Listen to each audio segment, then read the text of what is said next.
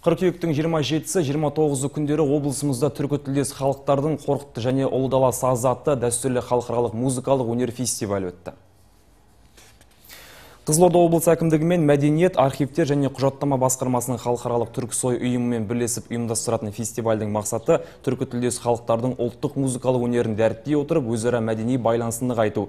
Тілі ұқсас діні ортақ елдердің салт дәстүрлерін қайталанбас өнерінің озық үлгілерімен бірге түркі әлемінің әлі зерттелмеген бай мұраларымен жұртшылық таныстырып, кеңінен насихаттау. Үш жылда бір ұйымдастырылатын өнер мерекесі биылда жалғасын таппақ. Айтулы өнер мерекесіне 10 мемлекеттен өнерпаздар және өнертанушы ғалымдар қатысады